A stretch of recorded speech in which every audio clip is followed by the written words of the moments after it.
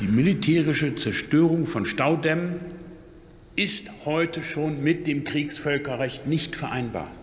Das gilt übrigens auch für Angriffe und die Gefährdung von Atomkraftwerken. Und wir reden hier nicht darum, dass dies der erste Fall ist. Wir wissen nicht, was in Kachowka genau passiert ist. Wir wissen, das hat der Kollege Lechte ja deutlich gesagt, dass es dort eine Explosion gegeben hat. Aber ich denke schon, wir müssen von diesem Bundestag das einheitliche Signal senden, wir wollen mit der Kultur der Straflosigkeit bei Verstößen gegen das Völkerrecht endlich ein Ende machen. Das ist die gemeinsame Überzeugung dieses gesamten Hauses, zumindest des demokratischen Teils dieses Hauses.